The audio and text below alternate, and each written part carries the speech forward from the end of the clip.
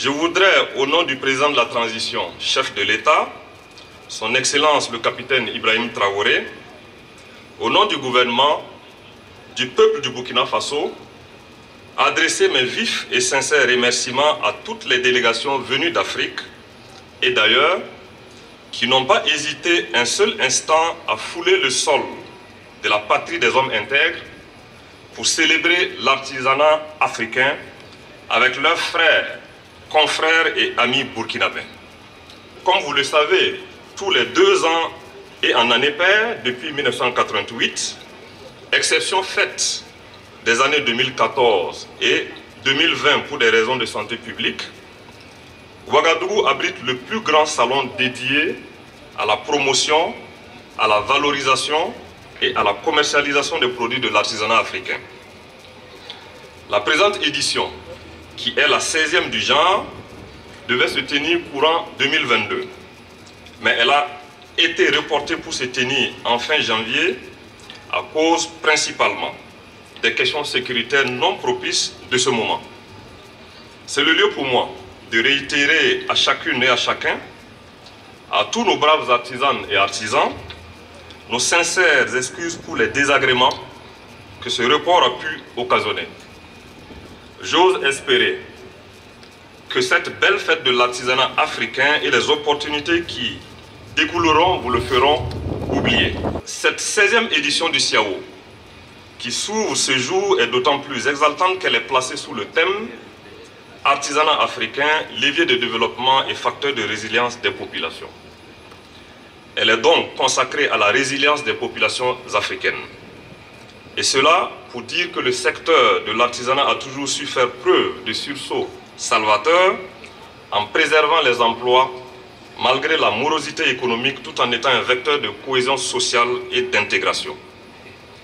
Cadre par excellence de valorisation de la civilisation africaine en son volet artisanat, le CIAO, qui rythme la vie des acteurs de l'artisanat africain et du reste du monde depuis 35 ans, sert de plateforme de rencontre entre l'offre et la demande en produits artisanaux.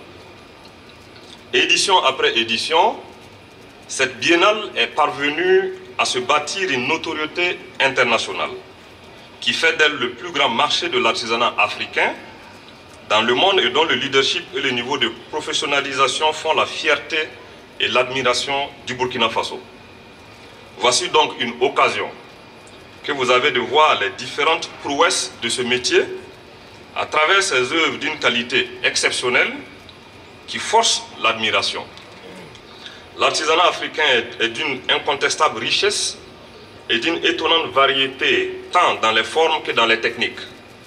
Et ce secteur jouera un rôle déterminant dans l'avenir économique de nos nations.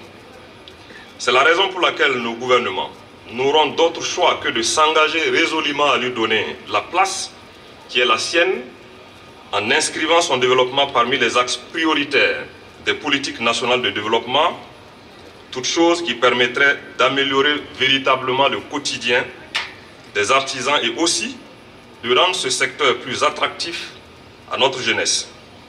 En dépit de tous ces efforts engagés, le secteur de l'artisanat reste confronté à certains défis de taille liés à la faiblesse de l'encadrement et des infrastructures et d'autofinancement, mais également de disponibilité des sites aménagés pour les artisans, l'accès au marché souvent difficile pour les artisans, sans oublier l'accès irrégulier à des intrants de qualité. Je voudrais remercier très sincèrement tous les artisans et artisans qui prennent part à cette 16e édition du CIAO. J'ai la ferme conviction que ces hommes et femmes de courage sont capables de relever les grands défis, même les plus improbables.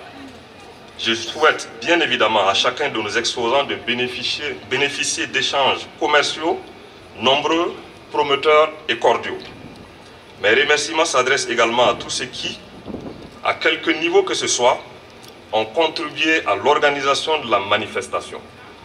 Pour terminer, je remercie chaleureusement nos hôtes venus de loin pour le temps qu'ils nous ont consacré et pour la générosité dont ils font preuve.